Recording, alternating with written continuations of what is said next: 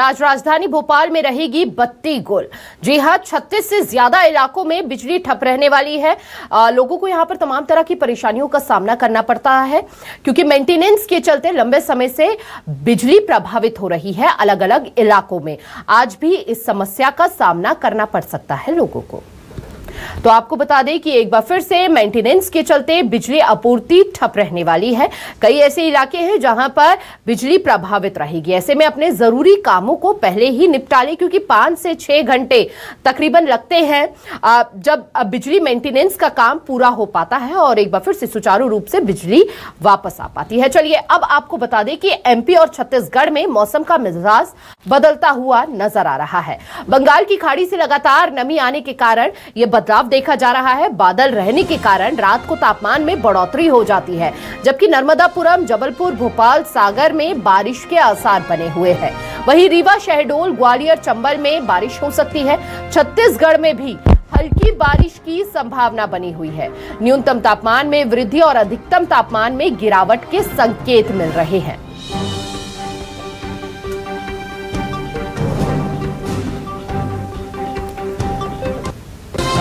कई इलाकों में बारिश के आसार बने हुए हैं। छत्तीसगढ़ में हल्की बारिश की संभावना बनी हुई है। एक बार फिर से मौसम में बदलाव देखा जा सकता है।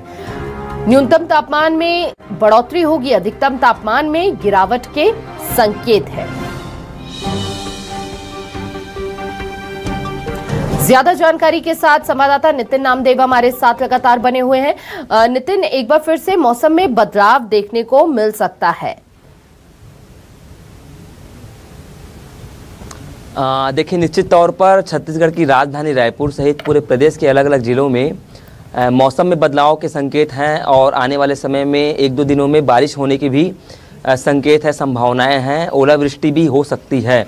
बताया जा रहा है कि पश्चिमी विभोग में एक टेक्निकल इशू बना है जिसके चलते मौसम में अचानक परिवर्तन देखा गया है और आज भी वर्तमान में बदली ऐसी पूरे प्रदेश भर में छाई हुई है। राजधानी रायपुर की बात की जाए तो सुबह से ही बदली का जो माहौल है वो देखा जा रहा है। बदली का वातावरण है और ठंड हल, हल्की हल्की ठंड की भी मूवमेंट देखी जा रही है। पिछले एक सप्ताह से देखा जा रहा है कि सुबह और देर रात के वक्त राजधानी रायपुर सहित पूरे अलग अलग ज़िलों में ठंड देखी जा रही है और दिन के वक्त जो है गर्मी होती है। तो देखिए, अचानक मौसम में परिवर्तन हो रहा है और आने वाले एक से दो दिन के अंदर में जो है बारिश भी हो सकती है, ओलावृष्टि की भी संभावनाएँ हैं, बदली भी छाई हुई है और हो सकता है कि ठंडी और बढ़ सकती है। तो दोबारा से लोग जो है मोटे कपड़े का उपयोग कर सकते हैं। फ़िलहाल मौसम में बदलाव के संकेत मौसम विभाग ने दिए हैं। जी। बिल्कुल, चूँकि भोपाल से शिखिर भी हमारे साथ जुड़े हुए हैं, उनसे जान लेते हैं, बदलता मौसम स्वास्थ्य के लिए लोगों की खासा परेशानी बना रहता है।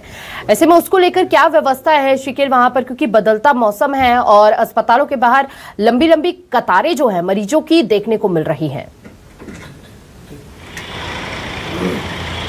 देखिए, निश्चित तौर पर मौसम जो है वो लगातार करवट ले रहा है और इतना ही नहीं, बल्कि जिस प्रकार से चेतावनी मौसम विभाग ने जारी की है, उसने चिंता कुछ और भी बढ़ा दी है, क्योंकि साफ़ तौर पर यह बताया गया कि आने वाले तीन चार दिनों में ना सिर्फ़ बारिश हो सकती है बल्कि ओले वृष्टि की भी संभावनाएँ जताई गई है।